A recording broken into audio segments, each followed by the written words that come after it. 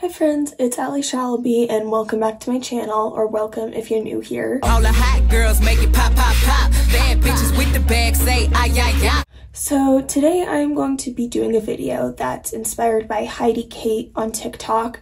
She has done a few TikToks where she basically gets ready and then just talks about her bad experiences with men. And I kind of just remembered that this happened to me. Um, so I thought that I would do the same thing, um, but in kind of YouTube video form because it's a fairly long story. Um, so yeah, let's just hop in. So this happened in late July to early August of 2019, which means that I was 17 at the time and just about to start my senior year of high school. So if you don't know, I train both judo and jujitsu, and my jujitsu gym is absolutely amazing. Um, unfortunately, I haven't been able to go in lately because of COVID, and then my arthritis was pretty bad at one point. But at the time, I was able to train, and like I said, it's an absolutely amazing place to train jujitsu. So one day I went in for open mat, which if you don't know is basically where you just go to practice your skills, kind of like um, you're in a match. So you'll go and you'll roll with someone for five minutes and then you switch and roll with someone else. So on this particular day, I ended up rolling with someone who I hadn't met before, which definitely wasn't uncommon. And, you know, I'm always excited to meet new people and roll with them and get, get more experience. That's a huge part of doing judo or jujitsu. And at my gym, we also have a very clear rule where if you don't want to roll with someone, you do not have to. You can just say no. They don't have any right to question it. Um, and our coaches will always pair girls with girls and then guys with guys in a class setting, um, unless there's an uneven amount in which someone who's older or a higher belt level will go with someone of the opposite gender. Basically, to go back to the you don't have to roll with someone if you don't want to, that rule is more for open mat's sake when you are picking your own partners. And I have never had any problem with rolling with guys. Um, for some girls, it's uncomfortable, and for some guys, it's uncomfortable too. Um, but just for me personally, I've always been okay with it. Um, I'm used to it. Literally almost all of my judo teammates are men and they're like older brothers to me. We're, you know, really close and I'm used to rolling with all of them. And the same goes for my jujitsu team. It isn't all men. There are, you know, a good amount of guys who train there and I end up rolling with them a lot. So when this guy asks me to roll with him, I didn't, you know, I don't think anything of it. You know, we roll, he gives me some pointers. He introduces himself after. I'll just call him Matt. He's gonna be Matt. Matt introduces himself after. I introduce myself too. You know, we say nice to meet you and go on and roll with other people. Then later that day, he ended up following me on Instagram. Um, and then again, didn't think anything weird of it because I follow most of my teammates on Instagram, like any of them that I know of, their Instagram handle, I follow them. So again, didn't think anything of it, followed him back, added his Snapchat. Again, any of my teammates who have a Snapchat, you know, we add each other. He messages me later after I add him and just says like, hey Allie, thanks for the ad. Um, and it was nice rolling with you. I just said like, oh, hey Matt, yeah, thanks for rolling with me and for giving me all of these pointers. Um, you know, it was nice to meet you too. And then he had like messaged me again and asked like what days I was in the gym. And I was like, oh, I'm in the gym most days. I'm like, at the time I was there like Tuesday, Wednesday, Thursday, Friday, Saturday, um, for the most part. And he kind of just says, like, oh, okay, that's cool. You know, hopefully I'll see you around. I'm going to be out of town for work for a little bit, but, um, you know, I'll probably see you when I get back. And I was like, yeah, that sounds good. Um, you know, it'd be cool to roll together again when you're back. Okay, so I plugged in my old phone because I have all of the messages he sent me screenshotted and saved on here. So basically, after that, you know, it was a couple days, didn't talk to him. Um, and then he had messaged me and said, and I quote, I want to see your pretty face. LOL, I don't care if you have makeup on. And I was uncomfortable with that, so I kind of just said, oh, LOL, thank you. I had a ton of powder on, so I looked a little funny. Um, I was baking my face and just didn't want to send a picture, but I'm like, you know, I barely know you, dude. Like, and that's a creepy comment because I didn't know exactly how old he was, but I was assuming he was like in his late 20s. After I tell him, you know, I had a ton of powder on my face, that's why I didn't send a picture. Um, he goes, so, lol. And again, I was pretty uncomfortable at that point, so I just kind of said, lol, fair point. So after I'd said, lol, fair point, he says, you're so shy. And again, this whole thing is becoming increasingly more uncomfortable for me. Um, and I kind of just say, LOL, at least I'm not as bad as I was when I was a kid because I was a horribly shy kid. Um, you know, and I haven't been shy in years. At that point, I was like, you know, mentally, I was like, I'm not shy at all. You're just making me uncomfortable. And he's like, You were very shy as a kid? LOL. I feel like guys who just constantly use LOL in every message they send are no good. Like, in my experience, that is always how it's been. And then after he had asked, you know, if I was shy as a kid, he said, So what did you do at the library? Because earlier I had, like, just, you know, sent a picture of, like, my books or whatever when I was at the library. Um, because at the time, I was doing an online chem class, so I had just been there studying and working on that. Um, so I just said, so shy, lol, as far as me being so shy as a kid. And then I just said online chem class because, again, that's what I'd been doing. So later that day, I just decided to do my makeup, you know, get all fancy just because I enjoy doing makeup. Again, like today, I don't have anywhere to be, but I love doing makeup. It's a passion of mine, so I did it and I really liked how it turned out, so I just posted a video of it on my Snapchat story.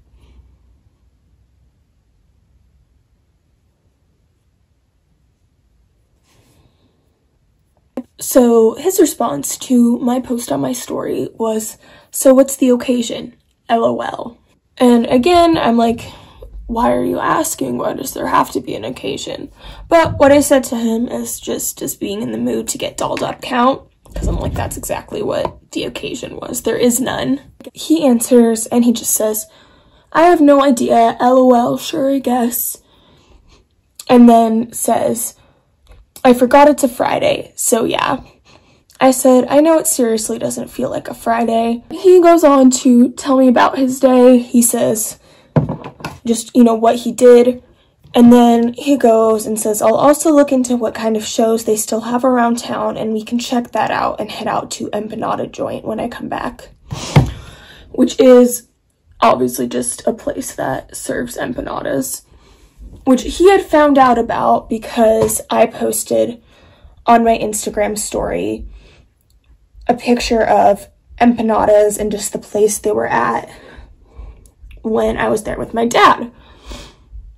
And he had like gone through my stories and found that and replied to it and was just like, oh, we should go there. And I was like, uh, haha, yeah.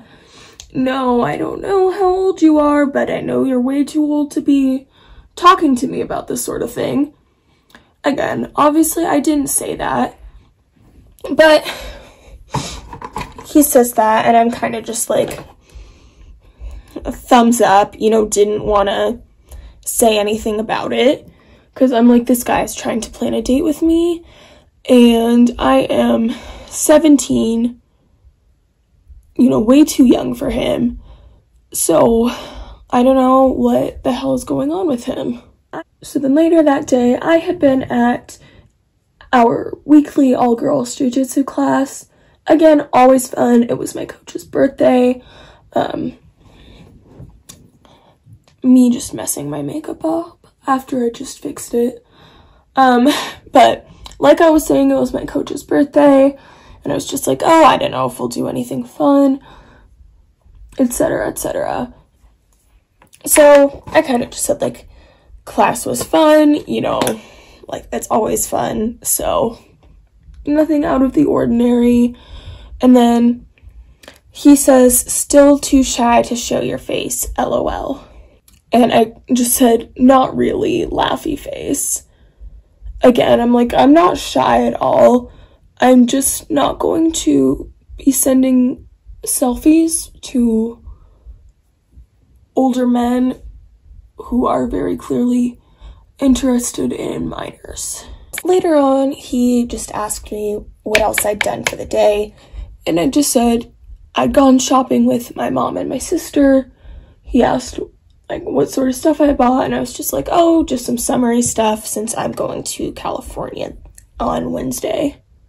And he's like, oh, I guess we'll have to push back the hangout. How long are you staying in California? And I'm like, dude, there is no hangout. Like, we are not gonna hang out together.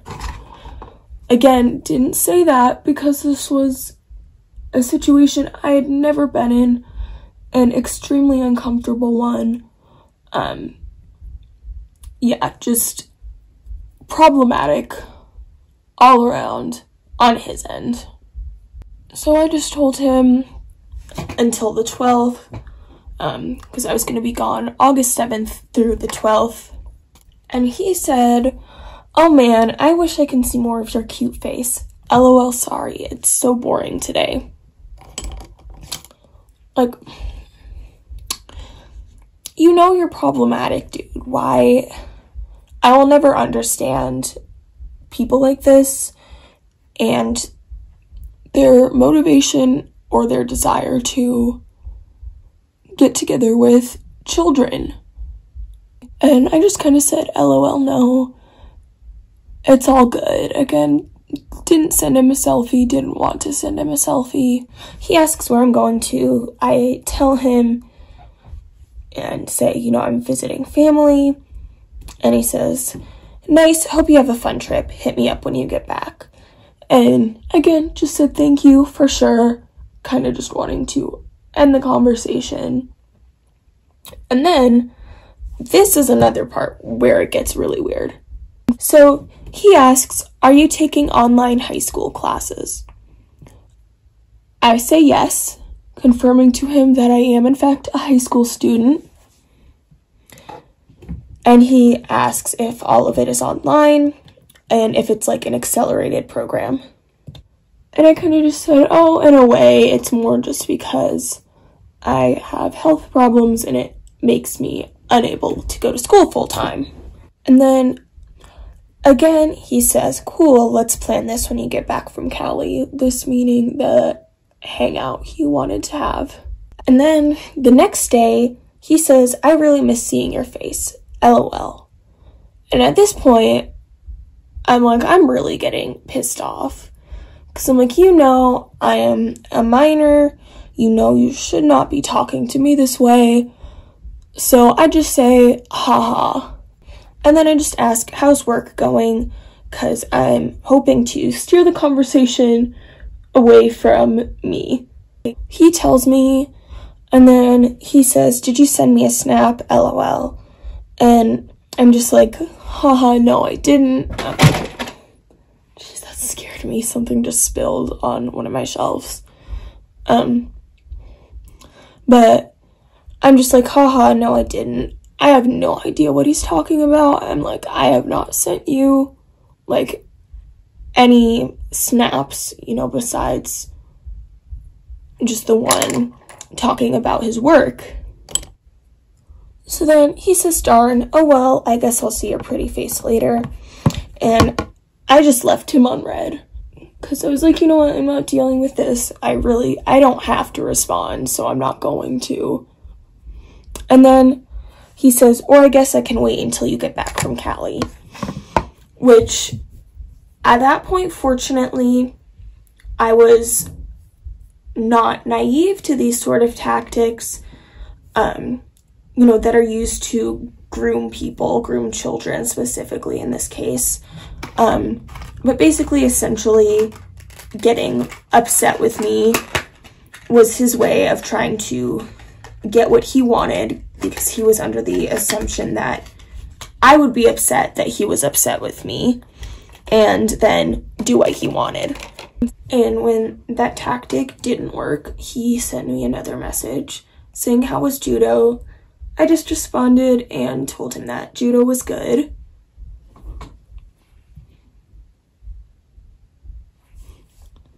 And he kind of just asks, like, How was your day? Whatever.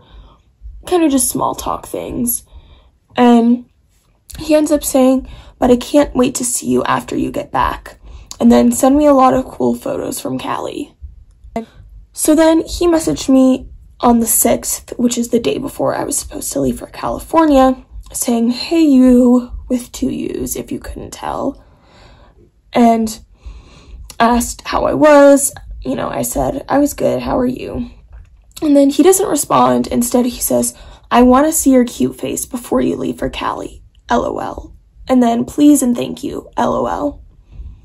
So again, demanding, not trying to give me a choice. He's moved past the point of asking and is now demanding. And I just said, haha. Again, I was like, I'm not sending you any selfies. He said, no cute face snap, lol. And I said, I kind of only send selfies when I'm in the mood, haha. And then the sweat drop emoji. He said, I want to see your beautiful face though. Just one more. Laughy face. And then the same tactic, he says, please trying to get me to feel bad. Oh, I'm already messing this up. That's great. And when I don't respond to the please, he says, fine, I guess I'll see you when you get back. And I'm just like, okay. And I said, I mean, there's one on my story. He didn't respond to that. But then on the 7th said, hey you. I said, hey. He said, how's Cali? I told him it was good. He asked what we did. And I said, went around to three Middle Eastern stores. Um, if you don't know, I'm Middle Eastern and I was visiting my mom's side of my family. And I hung out with my cousins that day. Again, obviously, my cousins are also Middle Eastern, so we all just went around to some Middle Eastern stores since we don't have anywhere I live. Um, so it's always nice to be able to get goods and stuff that I can't get where I live. And then he asks, Are you Syrian? And I'm like, No. And then I just said Egyptian. And he says, Oh, cool, you're pretty much Cleopatra.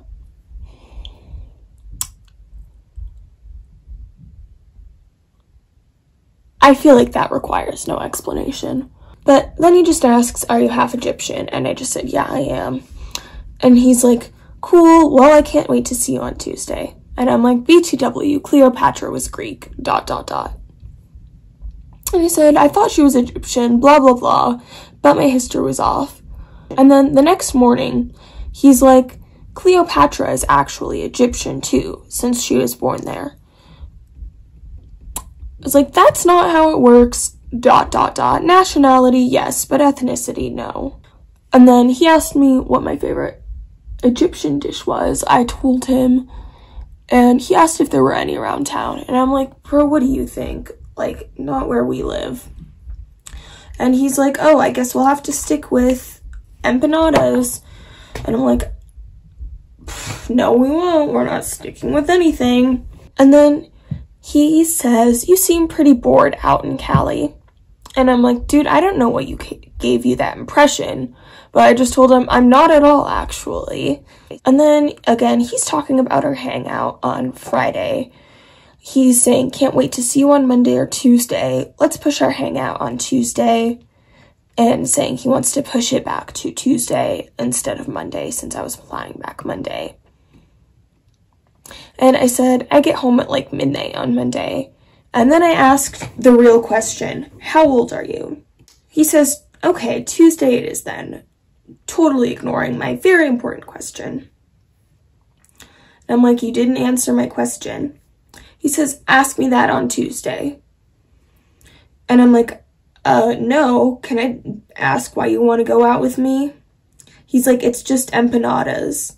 And I'm like, well, it's clearly not since you're flirting with me, bud. And I said, but that still doesn't answer my question. Just wondering. And he says, because I explain in person better than through text. I'll tell you everything over coffee or tea at the park. And I'm like, okay, now you're expanding on this date you want to go on. Like, when did we ever say anything about coffee or tea or the park? And I said, I want to know beforehand. And he says, I want to deeply apologize for what I said earlier this past week. And I'm like, for which part, buddy? Then he says, so you're really landing at midnight? Asks me this on Saturday. And I'm like, yeah. He says, I'll, I guess we'll talk later. And I said, I'm not comfortable meeting up with you. He said, okay, that's fine. And I said, you won't even say how old you are, but I assume you're 28 plus. And then he ended up just unadding me and unfollowing me and blocking me on Instagram. And I went back to my gym when I got home and I asked one of my friends slash coaches if she know how old she was.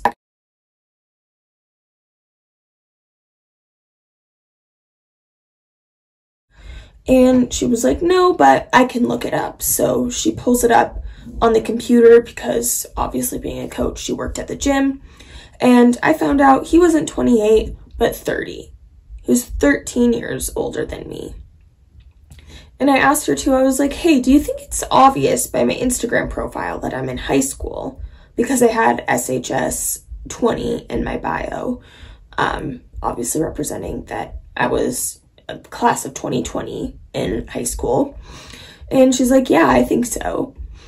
And basically, it ended up in me having a discussion with my head coaches and they were just like appalled at his behavior because they knew nothing about this. And he ended up getting kicked out of the gym because his behavior was wildly inappropriate. And yeah my coaches handled it just amazingly well. I couldn't have asked for anything better. Yeah i'm just so glad it's over, and I hope that he stays far away from any children. Um, yeah, it was, it was scary, but yeah, I'm just so glad that things are all good now. And thank you guys so much for taking the time to listen to this very serious topic um, and get ready with me. I tried to make it a little lighthearted um, because that's just what I was most comfortable with doing. Um, but anyways, I hope you guys have an amazing day. Thank you so much for watching. Don't forget to like, comment, subscribe, and turn on notifications. And I will see you next time, hopefully with, with a video that's a bit more fun. Bye.